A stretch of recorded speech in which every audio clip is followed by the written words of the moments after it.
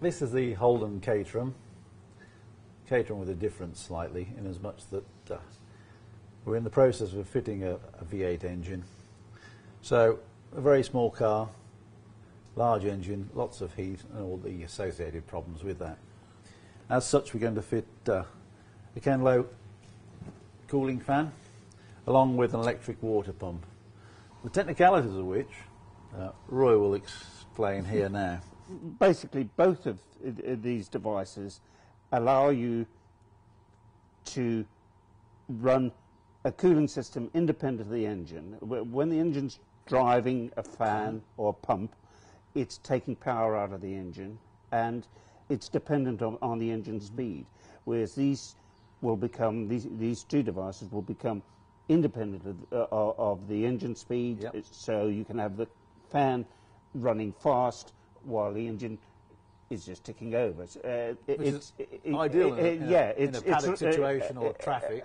uh, an engine-driven fan actually works the wrong way. It's, it's going slowly when the engine's getting hot, Yeah. and, often anyway. And the same with the, with the electric water pump.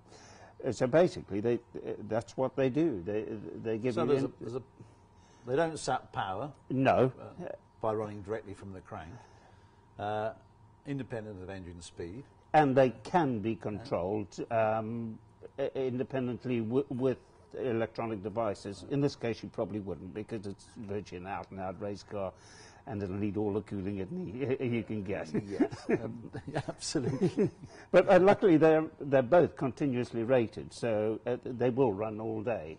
Okay, so maybe we could have a look at how easy they are to fit. Yes, we, we can. We can fetch this radiator off, and we'll do it on the bench. I think would probably be the easiest way. Good. So, so what we're going to do is mount that on there. Comes with a mounting kit with uh, Actually, these. directly to the face of the core. Uh, not quite, because it's got little foam pads that sit behind it. Okay, But, but yeah. it, it is actually virtually to, uh, to, directly to the face. I suppose that, you know, the closer it is, then the more efficient it becomes. Of course, you don't yeah. get any air loss. Know, Absolutely, side. yeah. It all has to go through the radiator. That's right. It, it's, it's got these. Uh, they're like tie wraps, uh, like a little ratchet Yep. that goes through the cores. Well, through, it's through the finning, uh, not through the cores. um, and um, it, it- there's a little piece that fits on the back that holds it. It- Really, very simple.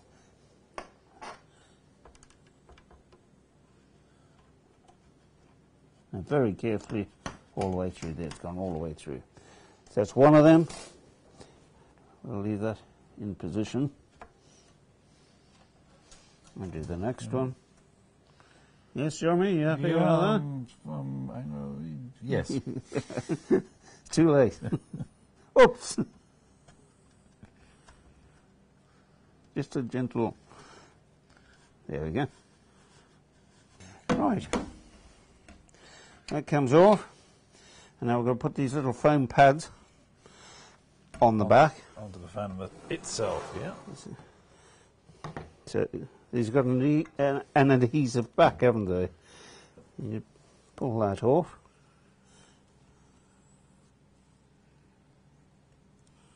Like that. There we go. Okay. And those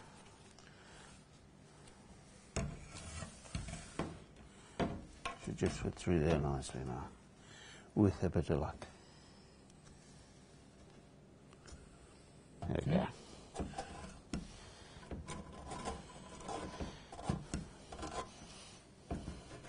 It really is very simple, isn't it? So far. so far, yes.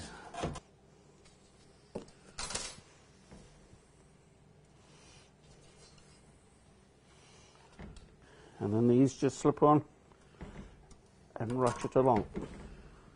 Pull it up nice and secure and tight. suppose we ought to spin that to get it straight. Square.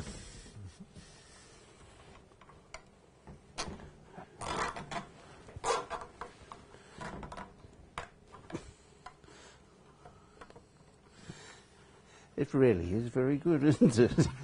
It, it- it- it is very straightforward. It is. Of course, on this, you, you're not going to have a fan control because it's an out-and-out racing machine, really. Um, you're just going to have the fan running Yeah, all I mean, the time. advised just to Yeah, keep it running yeah, all, all the time. The- the- it does come with a controller. How would we fit that? In a very similar way to these, you just part the uh, the finning on the radiator, and that fits in there. The, the, the full instructions are there. Basically, what that will do is switch the fan in and out according to whatever temperature you want to. You can set it to whatever temperature you want to. So we just tidy this up, chop these off, yeah, You have my trusty pair of side cutters, yeah? Uh, those just go off back onto the car. yeah. nice and flush.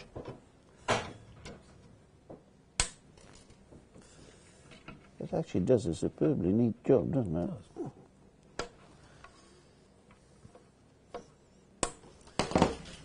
So that's it. Fitted. really very straightforward, even for me.